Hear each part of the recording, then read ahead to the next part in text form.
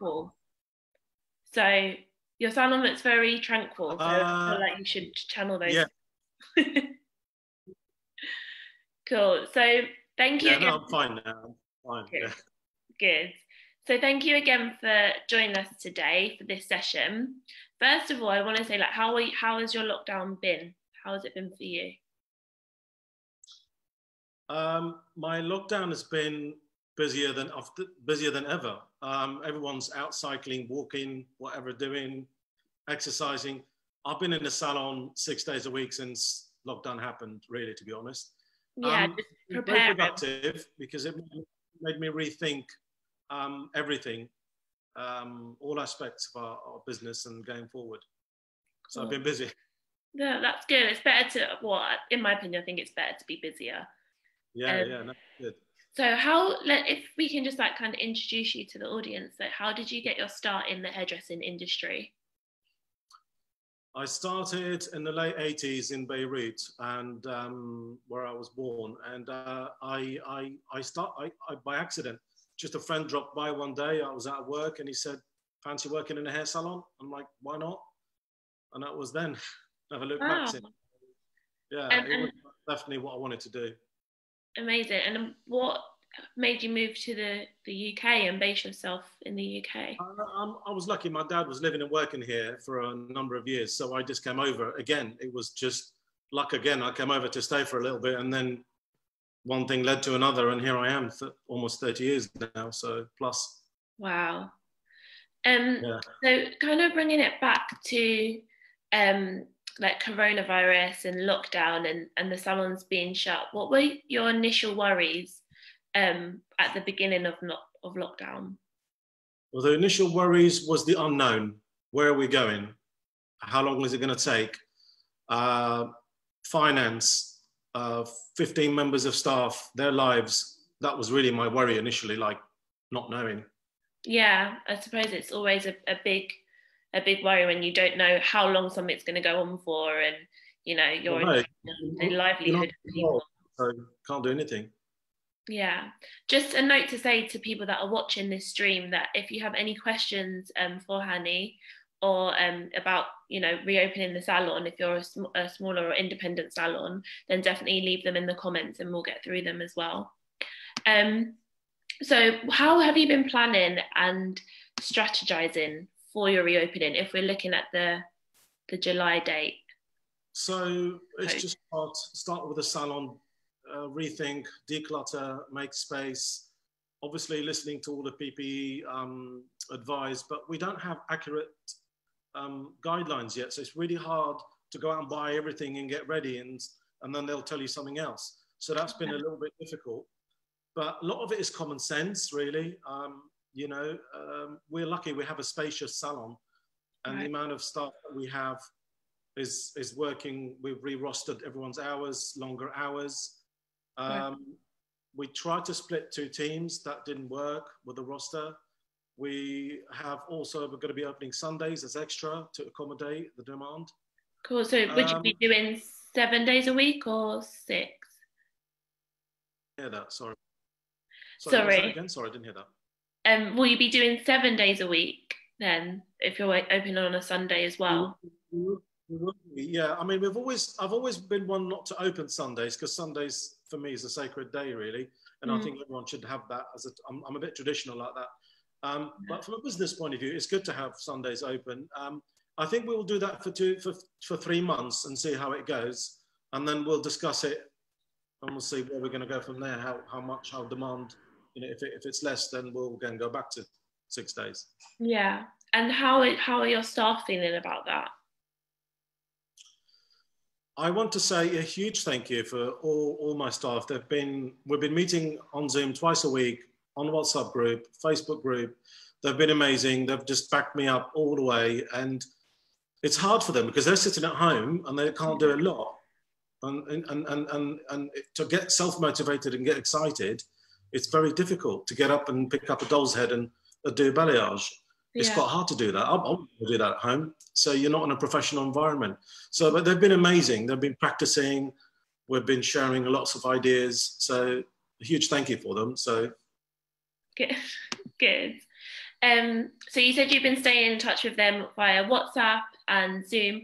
How would you give? What advice would you give to fellow salon owners about like starting to think about bringing their stylists back into salon and and talking to them about like changes and shifts and stuff like that? Well, you have to have. It sounds a bit sort of um, army soldier, but we we we've we've done procedures for everything, and we're yeah. every meeting that we have we do them in short doses, like how to come in the salon, where you're going to be working. We're going to have segre segregated stations for each stylist.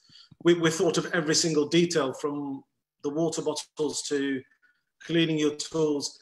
So everything has a procedure, and we've written it all out. It's all printed, laminated, and it's and it's all that information is given to the staff to study over the period, and also yeah. just a week before to bring in a member of family um, do their hair just to get a feel for the salon and practice a little bit and go through the procedure. That's such a good tip.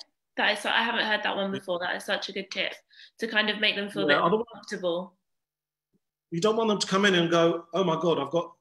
I mean, in a way, it's going to be easier because we're not doing tea and coffee and all that kind of. You know, you're just going to be focusing working where you are, and yeah. in a way, it's just it's just a new procedure. You just have to follow and remember, and we're going to have them written and put up on the wall. To be honest, I know it's probably going to look a bit ugly, but it doesn't matter. So that it reminds them. Yeah. And uh, I want them to be. I don't want to alienate the experience of the clients when they come back, you know, and and I don't want the staff to feel uncomfortable because it it, it will transcend on the client. So you want to be relaxed and, and happy to come back to work. Yeah, definitely. What do you think will be the biggest change um, for when the salons reopen? Like I think people's behavior is going to be very different. Yeah. Like some people would be very understanding, um, very patient, um, and some people will be not completely the opposite. So that's going to be an interesting. Um, it, it's going to. I'm, I'm looking forward to that in a way to see how people are. But generally, so far from social media, people have been supporting me on social media. You know, and people sending emails and so on. And I've been talking on the phone to clients daily um, the support is immense and yeah. they understand. And uh, because we're under pressure, we have got to do all these new procedure, run on time, fit in 10 clients a day or whatever. We can't, as a business, function if you're doing three clients a day. It, it doesn't work. Yeah. So you, you've got to try and keep some normality with the new process. Yeah, and I also think that a lot of the time, as a, a customer, you'll go to the hairdressers. You'll it's like a social you know environment i i don't it know how you, how you, feel about that that's going to obviously have to change because we'll be wearing face masks and visors well we don't know that yet but that will definitely change the experience to be honest with you maybe a little bit but um, we, we in our salon we, we laugh a lot and, and that's part of what we do all day every day and i think we're not going to stop laughing we're probably going to like draw faces on a mask to start off with, funny faces and all that. We're going to do pranks and things. So I think you've got to keep a sense of humour. And, yeah. you know, there is light at the, the tunnel. We won't be wearing masks for the next 10 years. It's only going to be temporary before it's, you know, looking forward to the next step, basically. Yeah. Um, so we've starting to get some questions through here. Um, Linda says common sense is good, but we need guidelines. And I think we definitely, we all agree with that. Um, what? what I have... agree with the. With, yeah, go on. Sorry. No, no, sorry. I think my connection's not great today. Um, no, definitely, we all agree that we need guidelines. What what have you put in place as your guidelines until we get that from the government? Um, well, we've um, we've segregated we've, we've created zones in the in, in the salon. So we have 15 chairs. There's only going to be uh, seven operating, six or seven. Um, we've taken off, with the reception area was completely taken away. Okay. Um, we decluttered everything in the salon. Uh, we're going to have, um, uh, we're not going to have a, a, plastic thing on the desk. We're going to have just a, a tape on the floor, like not to get closer. Okay. Uh, we'll be taking bills and future appointments while the client's in the chair. So oh, yeah. we're going to, so literally the client comes in, there's a front of house team. I mean, depends on the, on, on, on the size of your salon. It's easier if you're smaller, to be honest. You'll be dealing with it on a one to one. but we're going to have a front of house team, two people, um, managing the client's arrival. If the client's too early, then they'll come back in 10 minutes. Um, we sit them down, they go through the service, hopefully with one stylist that does as much as we can fit everything, cut and color and finish and drying. Yeah. Um, and then we take appointments, like I said, while the client's in the chair, they've paid, they've made appointments, and then they go out the exit, which is the back of the salon. So it's like a one-way system. Oh, amazing. So you've really it's kind of a smooth operation. Obviously, and then you know, and also on arrival, clients will have to wash their hands. Yeah. They'll have to come in with clean hair. Um, they can't bring anyone with them. Um, they can't bring shopping with them and all that. We're going to be sending them emails with all the details beforehand. Um, PPE, obviously masks, visors. Um, I mean, I'm not going to wear a visor. I've got my own visor here. So yeah. if I put a visor, I won't be able to cut hair because I'm see. um, the staff will wear visors isn't up to them. Um, obviously, we've got disposable gowns. They're horrible, but we're going to have to use them yeah. um, for a while. Um, aprons, we've got those. We've got, yeah, there's a whole list of cleaning products and so on. Yeah. Um, but all the staff have got their own tools. They've got their own section with their own products. They're, they only touch the products. They clean that section. So each stylist is responsible for their own section. It's easier to monitor and it's easier to work as a team. Yeah. And there's another team that will be responsible of what we call spots, where if people touch banisters, hands, and all that, so it'll be cleansed and anti, anti-bac between between. Um, it's, it's, to be honest with you, as as as industry, we we clean all the time anyway. Yeah. We anti-bac the salon before before COVID. So yeah. for us, it's just a little bit more, really. Yeah.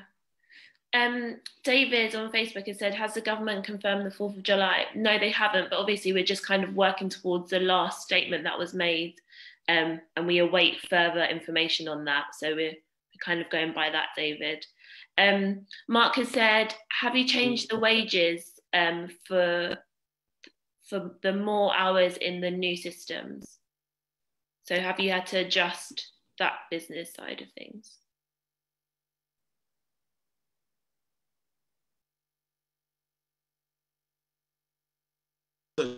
And that is based on how you pay your staff, whether it's um, on percentage or um, whether you you do it um, as a daily rate. It's, in, it's every salon is different. Every salon owner.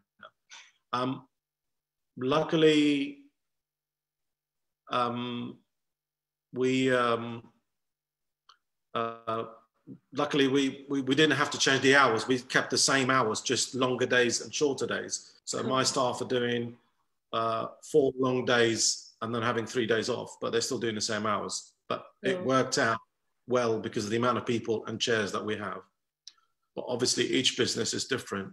Um, but yeah, uh, it, also it's unknown the first month how much we're going to take revenue. Yeah, we're going to take probably a lot the first six to eight weeks.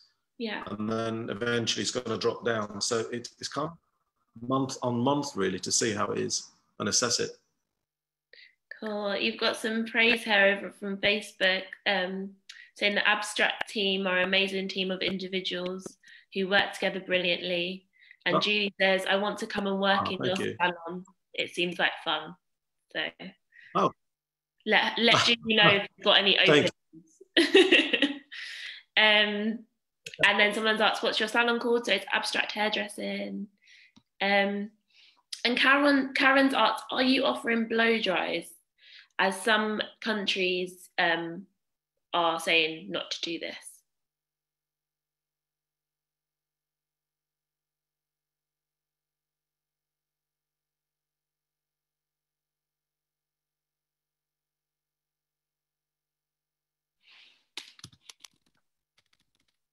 Um, the connection is um, not working at the moment. I don't know if you can hear me. I can hear I you can now. see but... a, a, question here, I think, about um, pricing and PPE. Is that right? I'm not sure. Yeah. Can you hear me, Hani?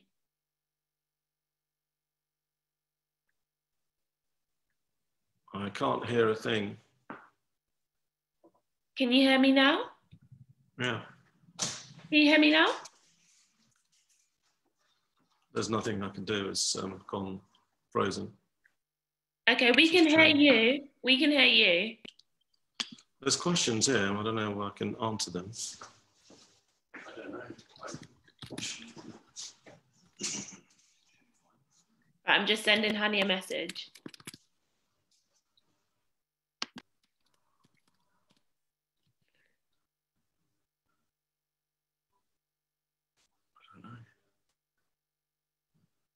Can you hear us now, Hani?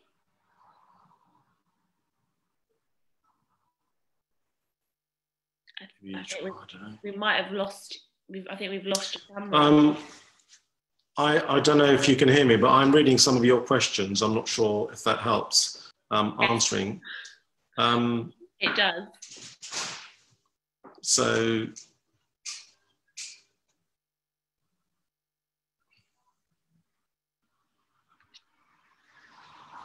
Annie, can you hear us? Have you seen my message? Yeah, maybe try and join it on my phone and see if that works. It's a shame. What's happening today? It's like I'm not sure. Okay. I want to answer their questions.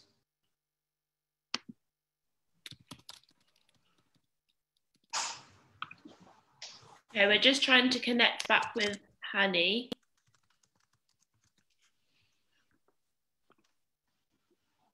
Bear with us. We don't have Zoom installed.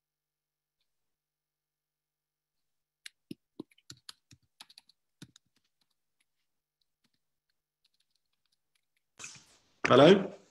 Can you hear us, Hani? Hello? Not sure if you can hear me. I'm trying to answer. They can hear you. They can hear me. We Oh, okay. hear. Well, I'm going to answer, if you can hear me, I'm going to answer your um, some of your questions here. Um, how are you handling bookings with no definite date to work? Difficult. Uh, we've had to move them to people twice, but I'd rather move people and um, rather than not having a, an, an appointment book open and just not knowing. People want hope. They want a date, even if you have to change it. So that's how we're handling them, and we're taking them. Hi. now we've got two of you. Can you hear me now? yes. My connection froze. Can you hear me now? Yes. Can you hear us? No. This is really something. can, can you hear us, so funny Hani? this is. I feel like there's no sound coming in. Turn your sound up. Is that? Hani, it says you're connecting to audio. Uh, call you into Right, Can you hear us now? I can hear you now. Yeah, I'm so sorry. I don't know what happened. So we're gonna need you to come off of that other video. Yeah, I'm closing it. It's closing it now. Cool. It's completely frozen. Right, here we are. Great. We got you back. Okay. I'm so sorry. I was like standing there like, okay. Do you know what? It's okay because it froze on a really nice smile. And I think Oh, that's has it? amazing. Yeah. Oh, right. I wasn't going like a funny face. That's really no, funny. which is would be worse. You're very Okay. kind. Thank you. No worries. Let's get back into these questions then. So Right. You were talking about. PPE. Yeah. Okay. So obviously, with what one of the um, listeners was saying earlier on, that there's not there's so much you can do because we don't have the guidelines yet. Um, however, we prepped with you know your gloves and you know usual masks. We will be supplying the clients with masks if they don't have one. Mhm. We will ask them to bring their own. Um, if they come in without one, we'll supply them. We'll have to put a surcharge on that, just to what the mask cost. Right. Uh, or two a day and then and dispose of it. We're not doing reusable ones because you take it home, you put it down, it gets contaminated, you put it in the car, someone else touches it. So just disposable ones are easier. Um, visors, like I said, I won't be wearing one, but the staff want to wear one, that's fine. Um, disposable gowns, um, yeah, we're gonna we're gonna have those. Obviously, not really great, but we will. We have also um, Scrummi towels, which are um, disposable, biodegradable ones. Anyway, we always use those. yeah. Um, and um, and um, just lots of cleaning. You know, anti-bac gel everywhere, and clients wash their hands and Yeah. arrive with clean hair. But we don't really have guidelines yet. So until at the end of the week, we're not sure 100% that might change. So I, I, I don't want to stock up on too much. I wouldn't stock up yet until they until they say you need this and need that. Yeah. I think it's again like in case anyone's just joining us, um, we have to stress that this is all just following what we've been told by the government so far. So we don't know what date will we be opening, etc. Um, we need to get guidelines. well, to be honest with you, I don't know if the government really knows what they're doing half the time and who they're Yeah. consulting. Because at the end of the day, we've been following the government black and white, do this, do that. But Yeah. some things you kind of have to use your common sense, like I said earlier on. Um, so I, I don't know who- who are the experts behind it. I want to know. It's like changing the gowns on the clients. I understand that it's touching the client, dispose of it. But what about our aprons, for example? You have to change your apron in between each client. Well, this apron is not actually touching anything. You're, Right. you're only going to be touching the hair, which is clean. Um, there's not a lot of, there is contact, but it's not like, you know, it's not like a dentist or anything like that. You're not doing anything invasive. So I think we're going to be over the top to start off with. Everyone's going to be over the top. Yeah. And then eventually it will ease down. So, but it's better to be safe though. Um, Carolina said, "Are you doing clients in between color processes? Have you thought about that or processing? Well- sorry. Yeah, we have discussed this with my staff. I mean, the people, we have a lot of clients that have like balayage, toner, treatment, cut. So we're trying to stick to one person. So as much as we can, not to have too much crossover. But there are, there are clients that have been coming for years that want one person to cut, one person to color. Right. But yeah, we are doing, as long as you wash your hands um, and and you're cleansing, you know, between one certain chair and another. So yeah, we are. We are going to be doing that because otherwise you start restricting yourself so much to the point that you, you can't do anything. So yeah, I would definitely be doing that. Cool. Um, Katie has said that um, she's working on her finances this week, and if you go onto the Wella site, there's a profit um, price calculator to download. So that's a great tip from from Katie. Oh, Great. One for Wella as well. Yeah, I've um, got that as well. and how? So you mentioned about um, like email marketing and that you've been active on Instagram. Are these the ways that you've been in touch with your clients or like keeping clients informed? Well, from day one, I just thought, what can I do apart from social media, just the usual? So I've been supplying my regular clients with um, SOS uh, kits, color kits for their roots and the ends.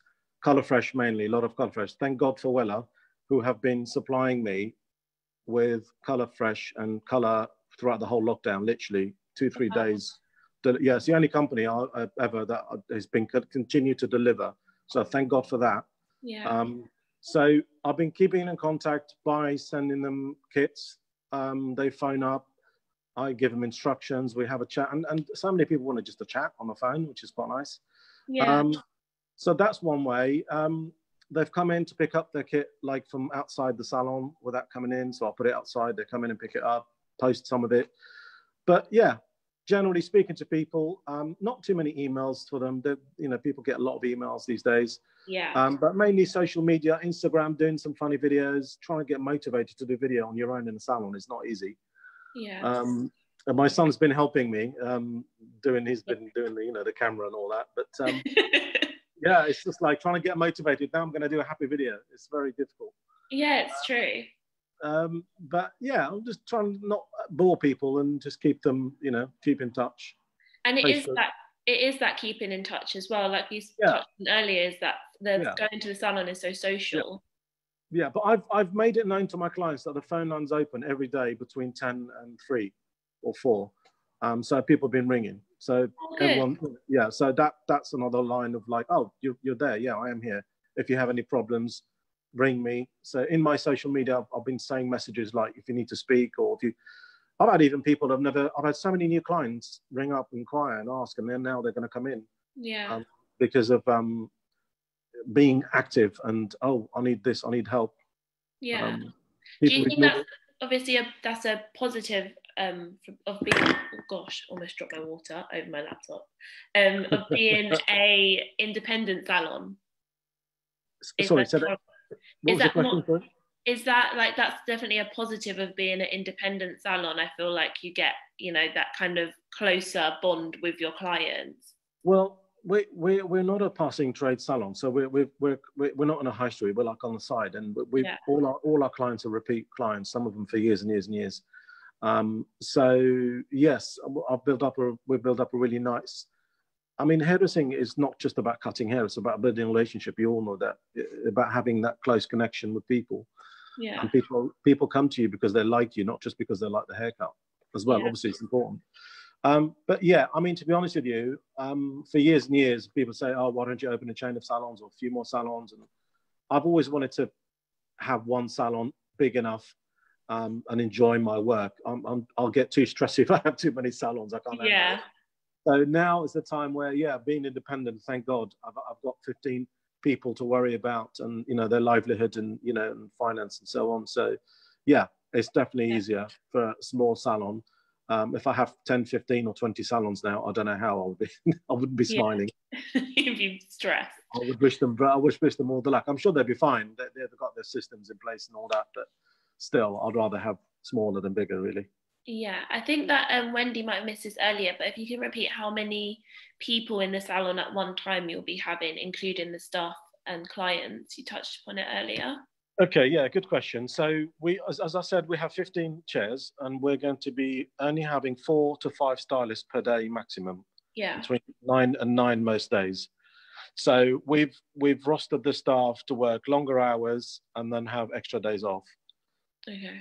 Yeah. Um, so there's there's and the front and the front of house team is crucial. They're going to be managing the the, the sort of the time if yeah. running late. But we're going through daily now with all the appointments and spotting where there's too much pressure, then we have to move appointments around. It's a nightmare, but you've just got to deal with it.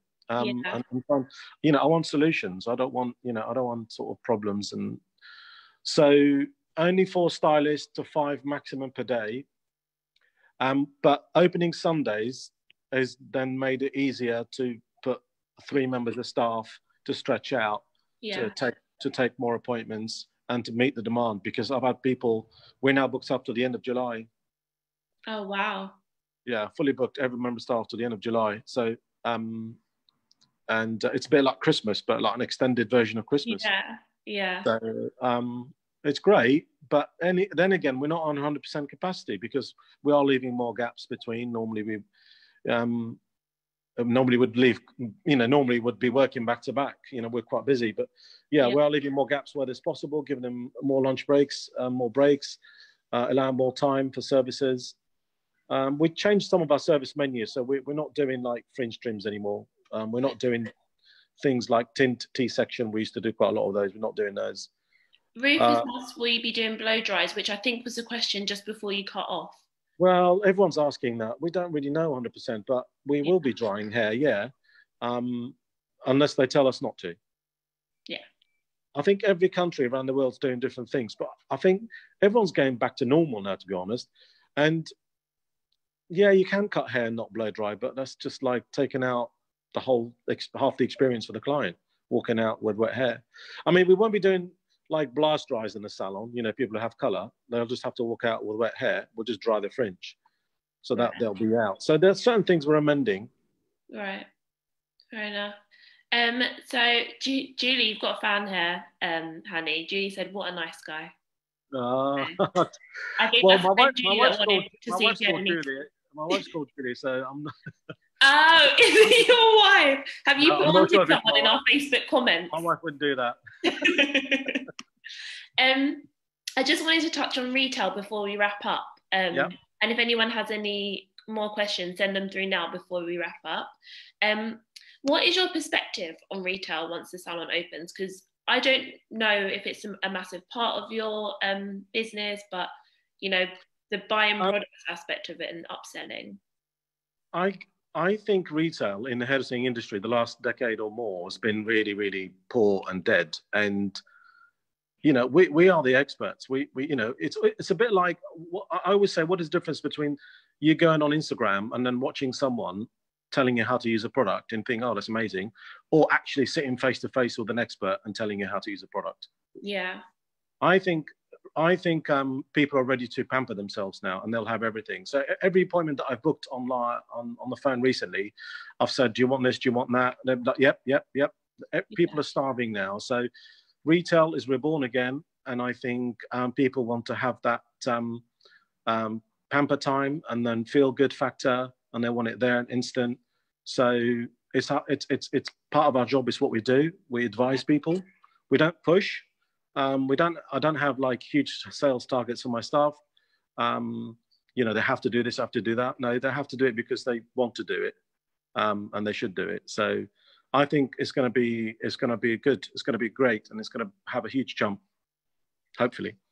Well, I hope so too for the industry. Um, I've got a question here about charging extra for services. So obviously you said you charge more for things like the mask, etc. But will you be putting a surcharge on well services? Well, we've thought about a lot, but we, as it happens for us, we were we, it's, it's time for us.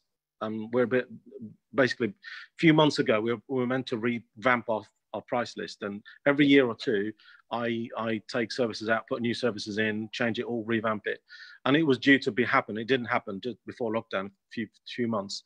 So for us, it's just the right time to change it. So I've decided to do do the redo the prices and then kind of incorporate the extra charge of the PPE in there. Yeah. Now the next three months we'll monitor the expenses. If our expenses are exceeding what we expected, then we'll have to put a surcharge on. But right. I don't want to. I don't want to put our prices and a surcharge. That's too much. Um, I think just readjusting our prices is good to start off with. Um, some services, I've, I've had time to rethink every single service and break it down. And is it making money? Um, how much is it making? You know, I think that's what the time's been good for, really, rethinking everything. Um, yeah. Um, but yeah, we'll monitor it for three months and then we'll see how much PPE we're going through. If it eases off, then it's great. Um, in the meantime, we're not doing tea and coughing, you know, that facility. That, that is a huge cost to us because we have a proper barista machine and all that. So that, yeah. that, that will balance it out a little bit.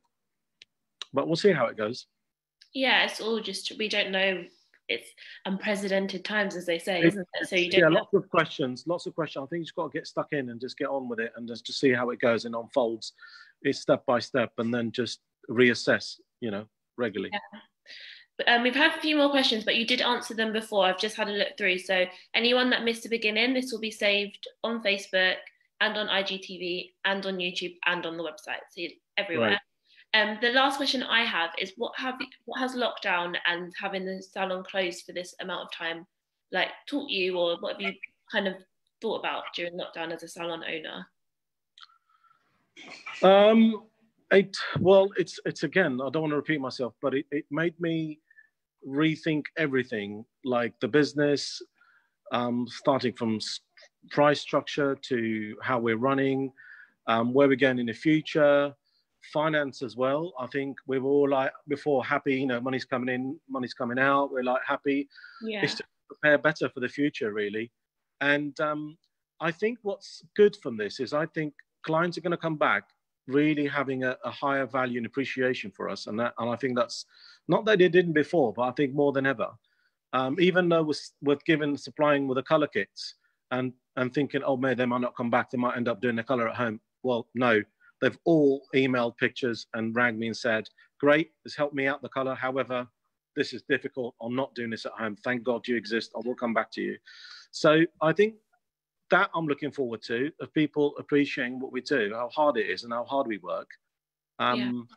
So um, yeah, I mean, it, it, made me think a lot of things, to be honest. Almost like, you know, almost is this a chance in my life where I need to be doing something different? Or, but no, at the end, it's like, no, this is what I do, this is what I love, and this is what I'll be doing forever. This is what you, you're excited to go back to. Yeah, yeah, yeah. yeah. Yeah.